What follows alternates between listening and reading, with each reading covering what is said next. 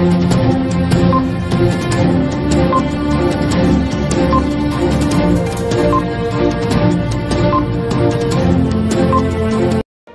वल्लभ भाई पटेल की जयंती पर सिकंदरपुर सिरोसी विकास खंड में आयोजित किया गया कार्यक्रम।